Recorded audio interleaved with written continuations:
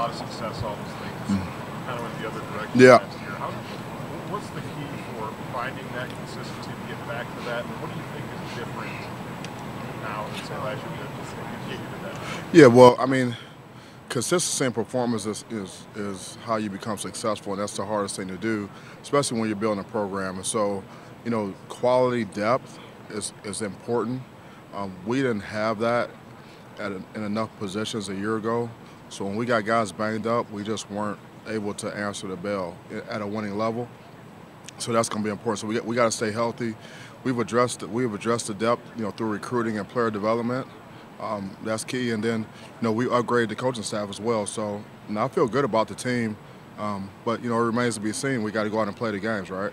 You talk about depth a lot too. Is it fair to say two years ago maybe you guys, you know, caught some breaks, didn't have the even though maybe the depth wasn't quite there yet, and then it takes a little time Right. to build that depth long term, I guess. And we stayed relatively healthy in, until uh, until I think like going into the Ohio State game. Um, we you know we got banged up, and then before the game, and then and then um, then you know after that game we go to Purdue and we're banged up like you know Horse was out. We had we had guys out and and some guys uh, you know couldn't answer the bell, so we were able to finish strong enough. I, I, know, I don't know if you guys remember how you know, we had a we had like a flu deal going around the team going into the Penn State game and, and all that, but guys were able to rise to the occasion, and so you know we were able to to get it done. Um, it takes it it does take some time to build depth, um, and uh, you know through recruiting, you know, and if you you know after the the 2020 season, that COVID season, you know we didn't have a player drafted, and that was the first time in I think 80 years that Michigan State didn't have a player drafted. So, uh, and that's at any position. You know, so that just kind of goes to show you like the state of you know depth and talent in the program, and you know it takes some recruiting classes to get that done. And so, uh, you know, we recruited well, especially the past two classes, and uh, you know, and some of those young guys that we recruited. Um, in that 22 class, they actually were playing last year. So it was painful on the job training, but you know they're bigger, stronger, faster now, and they have experience and they, and they look different. So much of that depth does have to do with the fact that, you know, you say you have the most talent in the deepest roster. Mhm. How much does that play a factor in the depth and those recruiting classes, why you feel that way? Is that reason? Yeah, that is a reason. Recruiting is a big part of it, um, and you know we were able to address some issues of need uh, in this out of season. For example, um, you know we weren't very big in the in the defensive line, um, and we didn't have a strong rotation. We had to play guys a lot more snaps than we really wanted to. Um, you know, we would go into games and have a three defensive tackle rotation, which is not a, a winning formula for us. And we were able to go out in recruiting and add, you know, three, six, five, 300 plus defensive tackles that have all played major college football. Those guys added Yeah. in the middle. Do you, Tunmise, do you envision him playing more outside now? He's an end. Yeah, he, he's an end. He came in at 280, um, and and that's and that's good for us because, you know, especially in our conference, you have to be able to stop the run. You have to be really strong in the C and D area, the tight end area, um, and we really got hurt in the perimeter run game. So, um, you know, he may be able to rush inside on, on passing downs, um, but he, you know, he came here to be at the end, and that's where we're going to play him.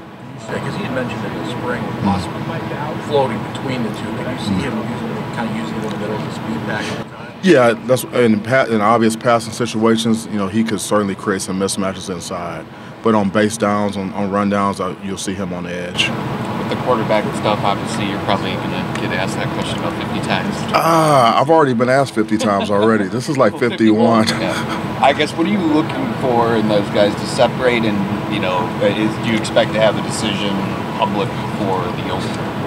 Yeah, I'm not. I'm not sure. I mean, a couple years ago, I don't think anyone knew who the starting quarterback was going to be going into that that Northwestern game. So, um, you know, it may be that. You know, we'll have to see.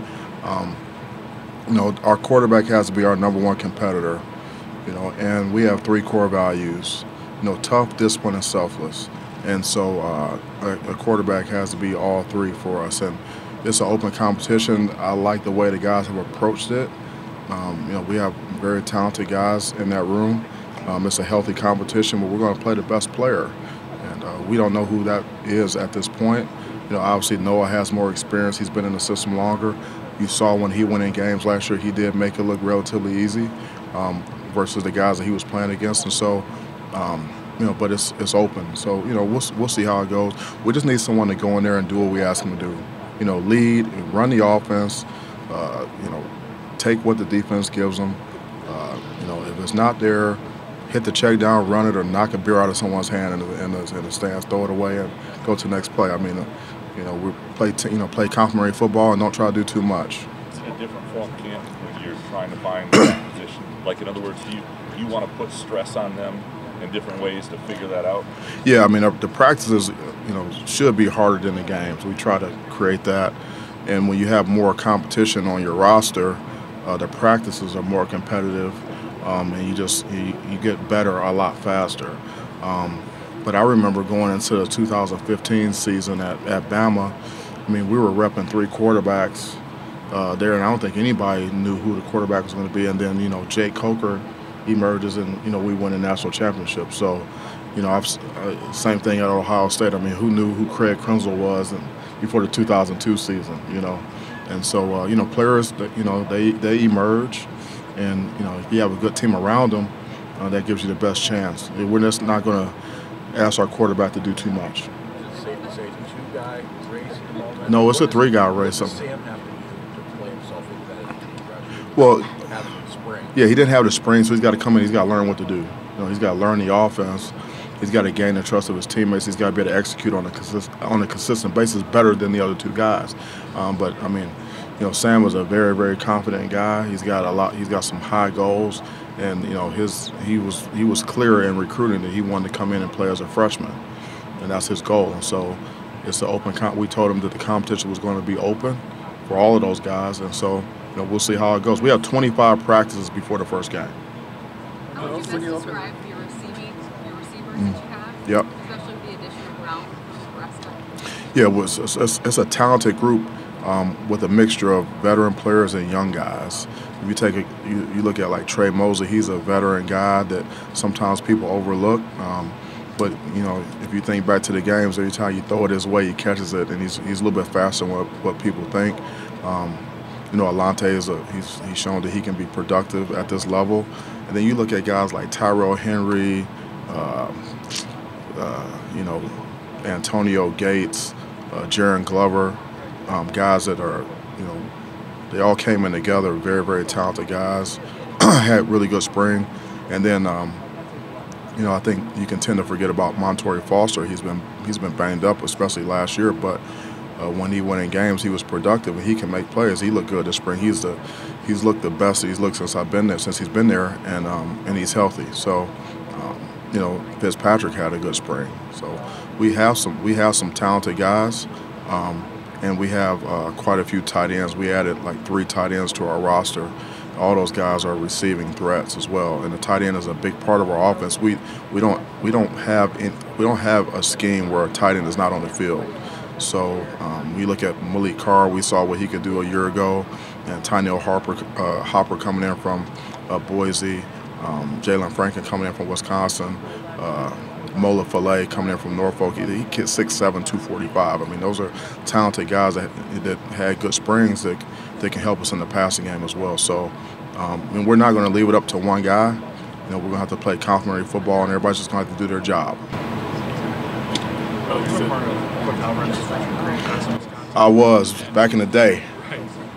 That was like 40 pounds ago. I kind of have the same identity since that class. That run game, play defense, try to win that way. Moving to the air raid, what was kind of your reaction to seeing that transition in Wisconsin?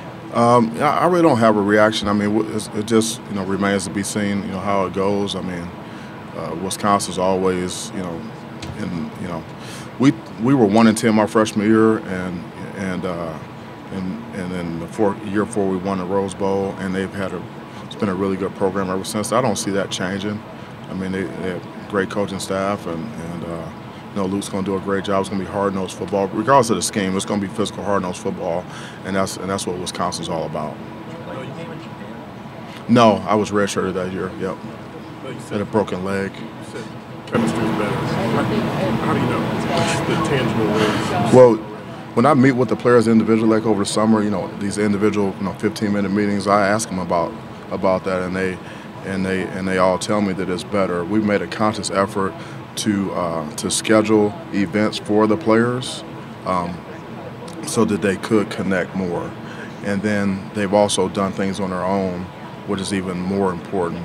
And so, uh, you know, you can, you know, you, this is year 27 for me coaching, and so uh, you can tell when players like being around each other, and also um, when you build mutual trust on a team, then um, you see guys holding each other accountable more often in a productive way, and that that's happening because we're with these guys in the summer, you know, through the spring and in the summer. There's an eight-week summer program, summer access we have with these guys, where these guys are running, lifting. You know, we can meet with them, coaches are meeting with them, and and we can do certain drills with those guys. And so, it's not like we don't see them. You know, we've we've been with these guys. Um, you know, since the season ended for the most part. There you are. Well, how was lunch? Not fast enough. In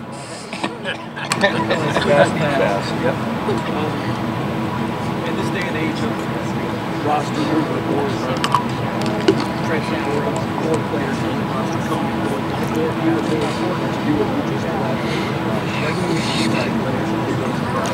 It is. I mean, connection and building trust and getting to know guys, you know, off the field uh, is important. They have to get they have to get to know each other. In order to coach the guys the way we need to coach them, they have to we have to have they have to trust us because we need to be able to push them beyond where they think that they can go. Um, you know, every day to get them better. Um, and if you don't have a connection, you don't have trust. It's, it's hard to get that. It's hard to get that done. So um, we had to be very intentional about you know connecting. We brought in we we use an outside firm called the Program. Um, we've started with these guys in, in January, and every Wednesday in the summer, they've come in. Uh, I think maybe for seven weeks they came in and worked with the new guys, the guys who had just gotten there, um, just arrived on campus like in June, to get them up to speed on our culture, you know, how we do things, working with leadership and things like that with some of the guys who have been here. And so that's been productive. That's the first time we've done that. So we put a lot of effort into um, team cohesiveness and team chemistry. So outside expectations, those matter internally? In other words, you know, a year ago, everybody around, you know, there's a swagger, there's a, and then when those aren't, does it does that matter internally, or is that all all outside? Does that make it easier to coach a team when those are gone, or are they? It, it, I think it may matter to some of the guys on the team, maybe some of the younger players who don't have as much experience and don't don't quite understand. Um, but outside of that, other than those guys, I don't think it really matters because uh, anyone that knows me knows that I have a high expectation for, for the program. It was that way when I walked in the door. You know, for you know winning games and recruiting. You know, I came in talking about competing for championships, going out and recruiting nationally, and, and, and going out and getting the best players and, and beating you know, competing for the best players and signing the best players. And I don't think anybody thought that I w- that, that was going to happen, and it is happening. So there's no one has a higher expectation than me, and that's communicated to our coaching staff and to our team. So what anyone says outside of program is really irrelevant, you know, for me and for the staff. But you know, obviously, you know, it can affect some guys who really just don't have the experience to understand how to handle it. Point to 2021 for your guys. What's that? Can you point to the 2021 season along those lines because the expectations were about where they're at now, and you put off a lot of Yeah, you, you, you can, you know, but you know what I like, what what what I prefer to do is is really uh, look at last year's team and really look at that team as a team that's going to lay the foundation for the program, because I think you know oftentimes you have to get kicked in the face before you can be great, you know, and so um, you know we have a chip on our shoulder. No one was happy with the way the season uh, unfolded. Um, especially there, you know, the last couple games, it was very disappointing. Um, and so, uh, you know, we're just we're just hungry. I mean, the coaching staff is. I mean, there's no there's no sense of entitlement in our building. Um, and uh, and I said it. I mean, I said it two years ago. I you know, we won 11 and two, but like we, I said we haven't really done anything. We didn't we didn't win a championship, you know. Um, you know, we didn't win them all. Um, you know, we it, it was it was a step in the right direction, but we hadn't arrived, and so we feel the same way now. Well, last year was you know about laying the foundation. Mhm. What is this year about? Yeah, it's it's about um, winning football games. That's what that's that's our goal. That's why we're here. And, I mean, that's that's our goal. And we don't ha- we don't have a theme for our, for this season. We, we don't have a, like any slogans or anything for this season. It's it's basically we got to play to the best of our potential. We got to get get it out of our guys. The best whatever we can do, whatever we're capable of doing, we have to get it out on the field. We got to coach it, and we got to coach through it and get it out of them. And the players they have to, you know, get to the point where they can fall back on their habits and not try to just rise to the occasion. Do you have an update on Darius? I know you're not like talking about it. Do you expect him to be? He'll be ready when he's ready. Is he closer though to, I mean, doing, you know, these. Darius had a long term. Yeah, he had a long term rehab, right? So he had a significant injury, and he's been battling. Uh, I mean, you guys know him, and he's he's a sharp kid. He's very determined. He loves football, and he's been battling hard to get back. Um, and it's it's going to take a while, but you know, hopefully, you know, we'll get a chance to see him do more when in fall camp, and then we'll we'll assess him at that point. Do you or can you expect him back this year? No, I don't have an expectation yet. Like I said, we have to wait until camp starts to see where he is. Um, you know, injuries, you know, sometimes, you know, they're just, you know, day to day. Guys come back sometimes sooner than you expect. Sometimes it takes a little bit longer. But I know this, I mean, if anyone can make it back, it's him. Quarterback. I'll be, I'll be right with you. Jalen Samuels, one of Sami? Yeah, Jalen, yeah, Jalen Sami, yeah. big bodies. he's talking about. He is a big body. What have you hearing or seen from him so far? The guy that you coached at Colorado. I did. He was a red. I he was a redshirt freshman uh, when he, he started for us. My uh, season at at, uh, at Colorado, he actually he actually helped us win the, the Washington game. He he was uh, that's back when we were had a three man shield punt team. So we had the big lineman and the shield in front of the punter, and the punt returner broke through and he made an open field tackle at 6'5", 300 some pounds on a skill guy. I don't know how he got this guy on the ground, but it was like, oh my God, if that guy, if he hadn't made that tackle, we lose that game. I mean, like, so, so that's why he's here. No, but he's a he's a he's a good player. He's a he's a he's a big body, and he's athletic. He's a he's and he's a great he's a great guy. We were happy. We, I mean, we when he hit the portal. I mean, we were all. I mean, there were we were there was literally there was some running in the hallway. Guys were there was a, were running, trying to get it done. When you opened the quarterback competition this Mhm. spring, did you prepare for the possibility that Nathan would transfer? Yeah, I mean, we, you know, we um, in the past, you know, you know, we would have like four, we would have three quarterbacks on scholarship typically, and then the rest, you know, walk-on players. Um, we decided that we wanted to, that we needed to have four, you know, in recent years have four scholarship guys, um, because what you see in college football is you see guys go through spring and they kind of they start they make decisions after spring if they if they want to stay or, not, and so we, you know, you anticipate possibly one guy leaving, um, you're not maybe knowing who, and still having three good players remaining, and that's that was our situation. So we were prepared. I know there's reports that the Michigan game this year will be a night game prime time. Uh, any early thoughts on that? Especially is that is that is that concrete? Is that it is? Yeah, That's what's yeah, reported. yeah. We'll be there. We'll be there.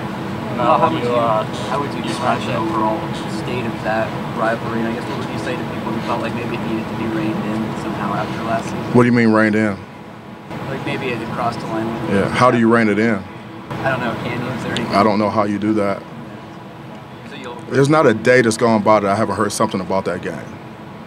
I mean, every day of my life I hear about that game. So I don't know how you rein that in.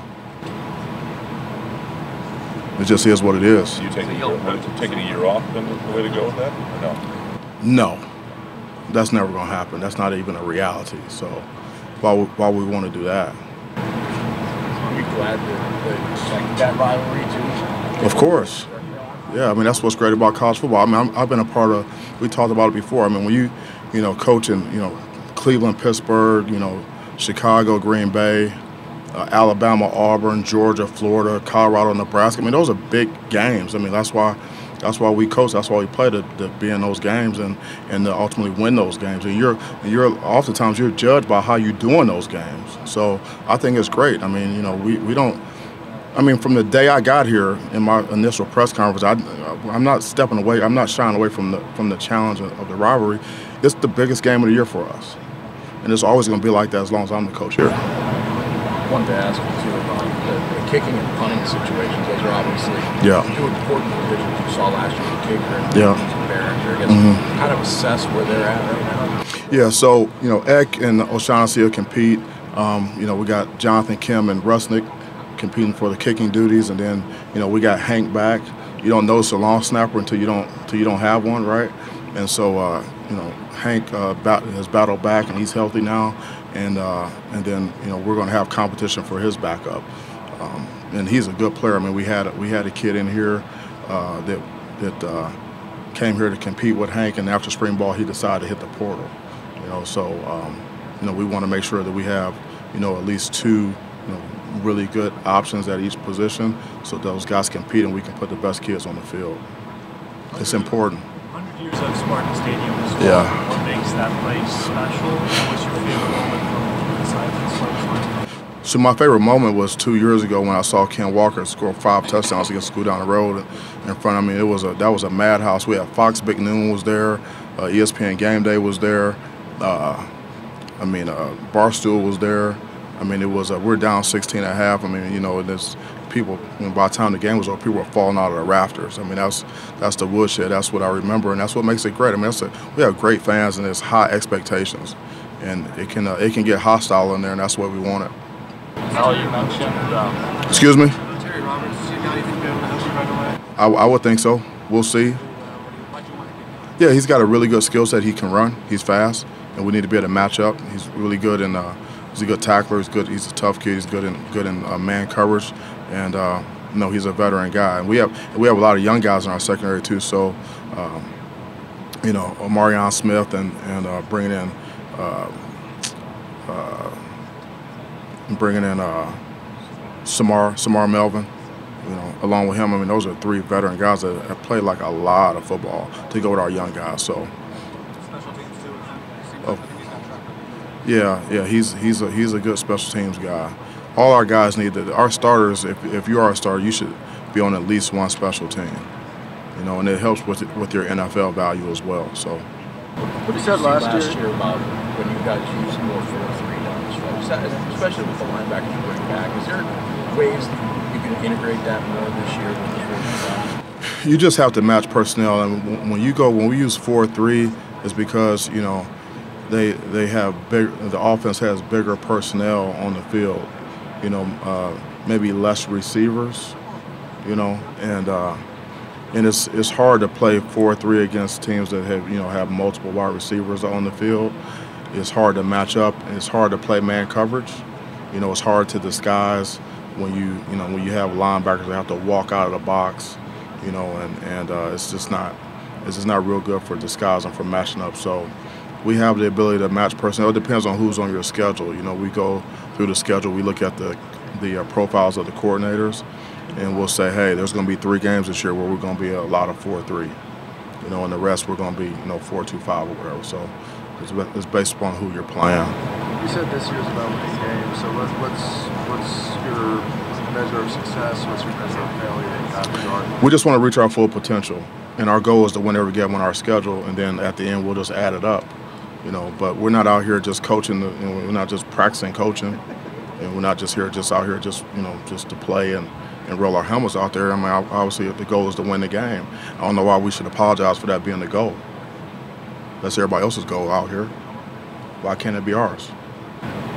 with the new TV deal, how it's going to help your team and how it's going to help the league? We'll see. I mean, it's a it's a it's a uh, it's a lot of resources, you know. But uh, you know, that's really not my focus.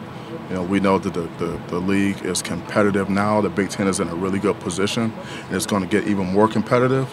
And in, in recruiting, um, when you're, we're talking to players, you know, that does come up. And the best players want to play against the best competition. Uh, they want to get the best tape. Uh, for the NFL, and they want to play on huge stages. And I don't know if you can get a bigger stage when you really look at the numbers uh, of viewership of the Big Ten. Um, the the real numbers, the actual numbers, you compare them to the SEC, I think you'd be surprised. What stands out to you about Cal Haladay? The body man, John Wick. See, he's old school. He's extremely old school. I mean, like you talk about hundred years. hundred years ago, he would have fit in. Just, I mean, the guy has he wears nothing on his arms, no wristbands, no tape, no towel. I mean, uh, he's as, as basic as as it gets. He doesn't really talk that much. He just it's like see ball, get ball. You know, he's a he's a he's a Michigan State linebacker, old school. I mean, he could have played. He could play in any era. He could play in that era where, like, you could tackle a guy and the four apart. Eh, you, he, could, he could get up and still run. Like you had to stop the four apart. The guy had to give up before they blow the whistle. He could have played in that era. I love that guy. I don't know if I'm big time, but I, I do I do enjoy the sweet science. You got sweets and, and blood crossing the prison coming up this week. Who you like? I got to go with Bud. I, I mean, I, I got to go with Bud. That's going to be a good fight. Uh, you see the monster fought yesterday morning, like at eight o'clock. Do you see that knockout? He hit him. He he set him up with a jab to the body, then hit him with a straight right. I think he broke his jaw. That's a long ride home from Japan, bro. you go with two belts, you got to come home. We got no belts. I mean, yeah, but I mean, I got to go with Bud. It's gonna be a good. I would I would have loved to be out there for that, but obviously I got work to do. Yeah. Hey, how do you evaluate your NIL program as it pertains to other? Like, how do you, how do you compare them? I don't know. How do you do that? I don't know. That's my message. Yeah, I mean, it's it's it's tough because you don't know what the numbers are. No one really knows exactly what players are getting offered or what they're getting from these other places or how much they're actually spending. You know, it's really it's not public information. How do you really know what the truth is? You know, and so uh, we're in. You know, we're active in this space. Obviously, we have support from our donors, and um, so we're in position to be, to be in it. As you see, we're in it with a lot of good players, uh, and it's coast to coast. I mean, so it's interesting. Uh, you know, we could be in it from a, a kid from California that, you know, decides to go to a top uh, Pac-12 Pac-12 school, and, and our fans are disappointed. I think that's a good thing.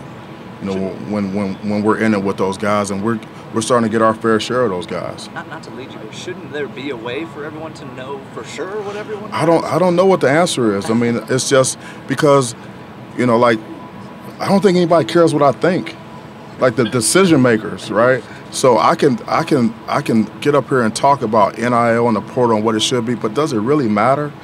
Uh, it's like, okay, this is what it is, and now how do we maneuver and how do we put ourselves in the best position to get players and win games? Because I don't waste a lot of time, you know, doing that because I just don't think anybody's listening to me. You've been through to the next level Yeah. uh, with guys, contract negotiators, everything else. You feel like this cycle in particular, Mm-hmm. guys are starting to use the portal, use the immediate transfer, use all those things in NIL to their advantage with Mm-hmm. what they're doing? Everyone's using the portal. It's not just football and basketball. All sports are doing it, and they've been doing it.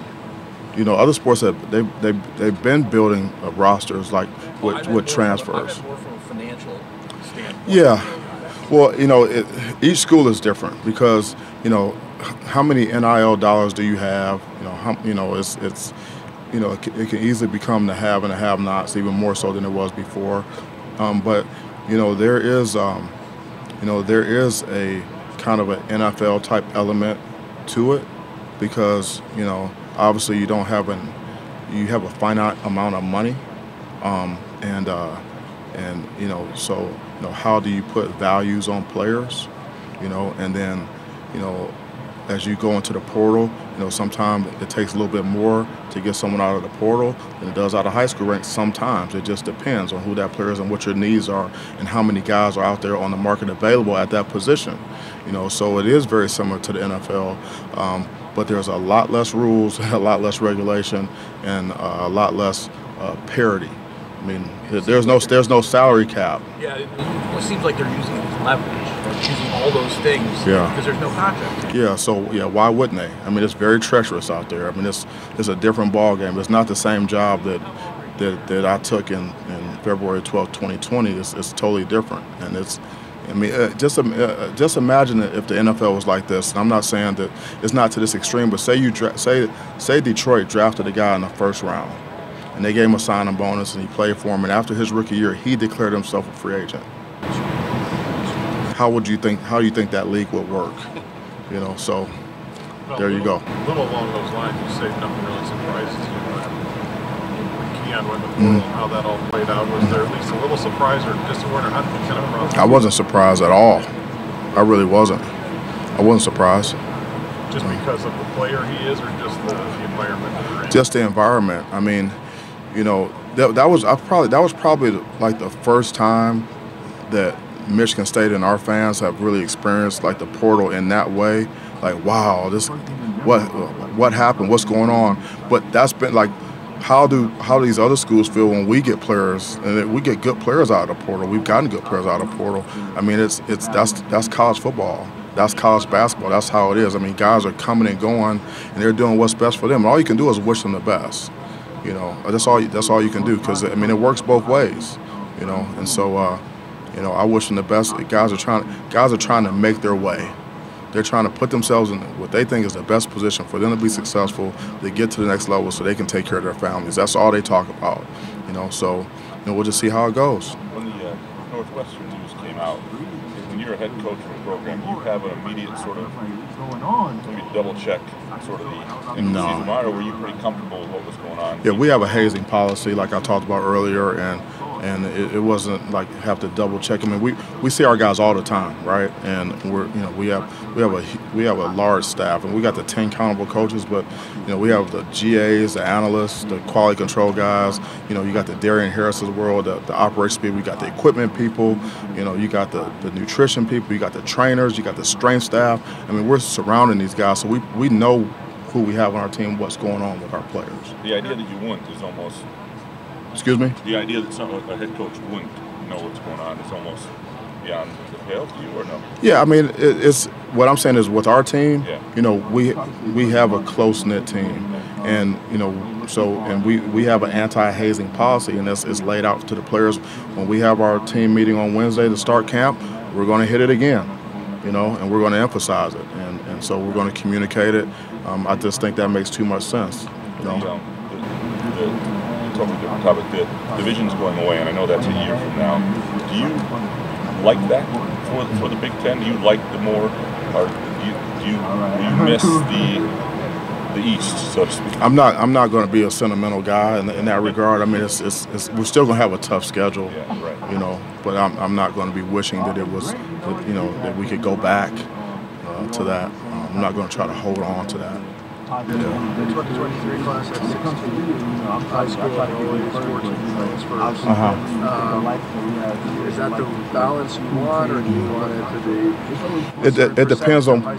It depends on what our needs are. I haven't s- I haven't told the coaching staff, hey, we need this percentage of high school guys, this percentage of transfers. We're in a win now culture, okay, and so we have to do what we have to do every year to build a team, put the best team out there we can, to fill the needs that we can. We have to we have to be able to do that and and build a winning culture along the way, you know. And that's it's a it's a challenge, you know. But we we we came in the door playing catch up you know we were we, we were playing catch up and you know i was when i was when i was when when this when this opportunity came up i had i had several several people tell me do not take that job. You go into the conference eighth or ninth walking in the door and you have no facilities. Okay? So we know that there's challenges and we know it takes time to build a program and get the way we want it and you know the portal is part of it you know? And what you know from year to year how many guys we get out of high school how many guys we get out of the portal you know, it remains to be seen but we start in the high school ranks.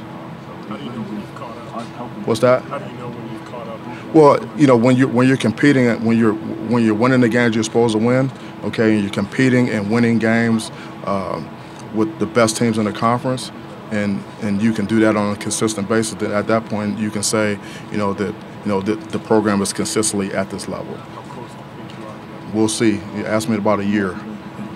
Last year you were here, you said uh, pass defense couldn't get any worse, and then Yeah. you know only two interceptions. Obviously, Yeah. couldn't go that way. That's why I hired Jimmy Salgado. I made it worse.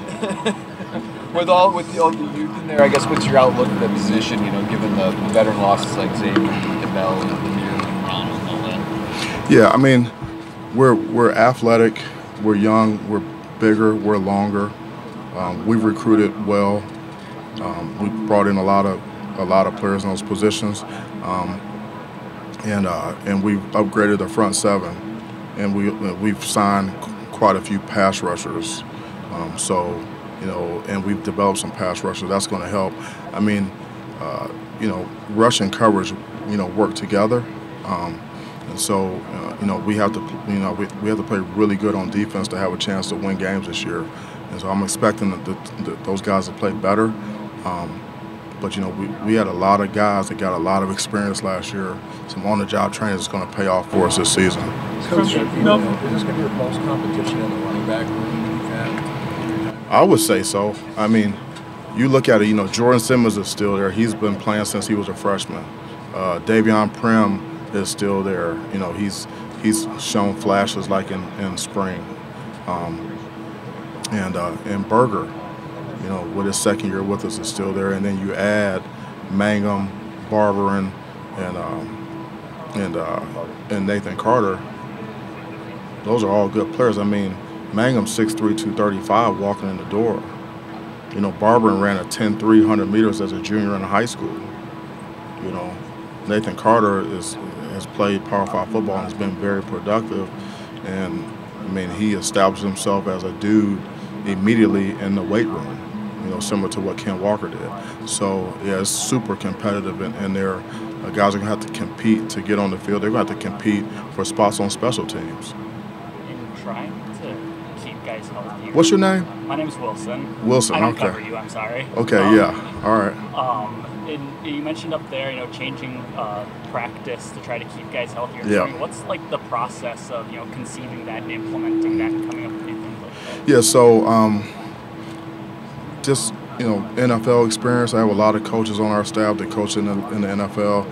Our strength coach was like 11 years in the league. My new D line coach was 11 years in the league. I had 10 years in the league.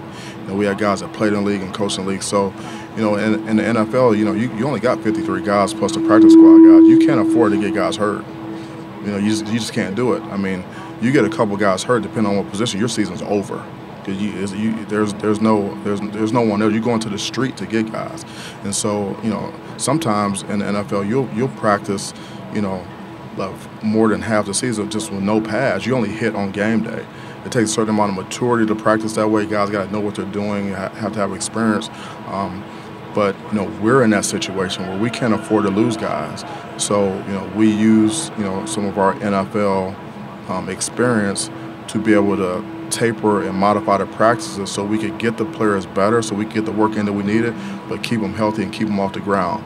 Like the days of just banging, banging, banging, banging, we're just you know I think they're you know I, I, I don't think we can ever we can ever go back to that you know and and I thought we were doing a, a, a really good job taking care of our players but obviously we had to make some changes. I think we had 28 starters on defense uh, last year and like 43 different starters as a team. That was like fifth most in the in the country and that that is that's not going to get it done. So we had to make some changes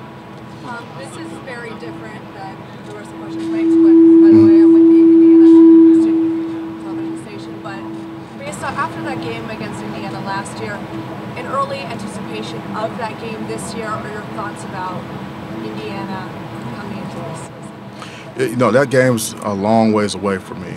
And i'm not just saying that. I mean it's not something that's really i'm really thinking about right now because like we start camp and we report on wednesday and you know we're we're focusing on our 25 practices then our first game. And so um, i mean tom's going to have his team ready. They always play hard. It's always a physical game. Um, and it's uh i mean it's, it's going to be a battle i mean i know that much so Hey Mel, from uh, question Yeah. uh, about I cover Ohio State, um, and, and you guys have faced a lot of good receivers from Mhm. the last couple years. I was wondering from your perspective, what makes Marvin Harrison kind of unique and Yeah. from a matchup perspective? Yeah, he's he's he's he's fast. He's got good size. He has excellent hands. I mean, even like if you go back to our game last year and you look at some of the plays that he made, you know, those guys were draped all over him and he came down with the ball and he made it look easy and he does that on a consistent basis. And there's not very many guys in the country who can do that all the time. You know, so um, I mean, he he's got really good route running ability. He plays with toughness.